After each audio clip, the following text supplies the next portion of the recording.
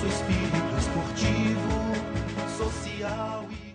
Tirar essa, essa, esses quatro, cinco jogos que nós tivemos aí, que não foi muito bom, eu acho que é importantíssimo o apoio da torcida, eu acho que chegar lá para nos apoiar, acho que, como eu sempre falo em todas as minhas entrevistas, quando a torcida vai lá para nos ajudar, eu acho que sempre é o camisa 12.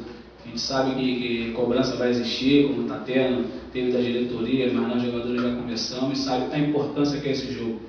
Entendeu? A gente tem mais quatro jogos, mas a gente vai praticamente começar novamente a ter vitórias e graças a Deus e o professor agora é o Milagres, já está botando outra filosofia de jogo e eu tenho certeza que tem tudo para dar certo e o grupo está tá ciente do que tem que fazer no sábado. Ele está passando ali né, a experiência dele, foi o que ele falou, acho que o América não chegou a 26 pontos, não foi por acaso. Todo mundo sabe que, que a nossa equipe é uma equipe boa, é uma equipe qualificada.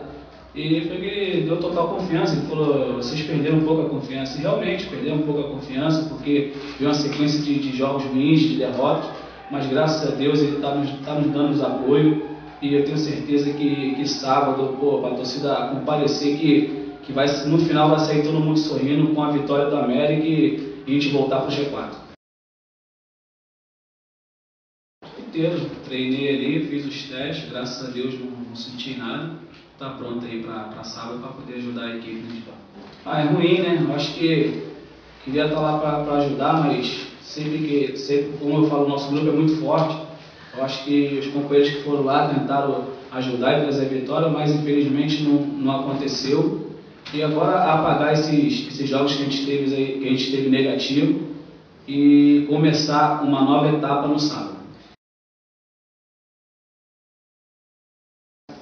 Ah, acho que cada treinador tem a sua filosofia de trabalho, né? Acho que o Givanildo teve a dele e agora está tendo um milagre. Eu tenho certeza que todos vão, todos vão, vão, vão estar juntos ali para poder ajudar a equipe no, no sábado como a gente está jogando em casa, acho que a gente tem que ir mais, ao, mais é, ao ataque, mas só que a gente também não pode é, ir sem responsabilidade. Eu acho que foi o que o, que o professor passou para a gente. A gente tem que estar tá com a bola no pé, jogar, quando tiver sem a bola, marcar forte, porque eu tenho certeza, se a gente fizer isso dentro de campo no sábado, a gente tem total condições de sair lá com a vitória.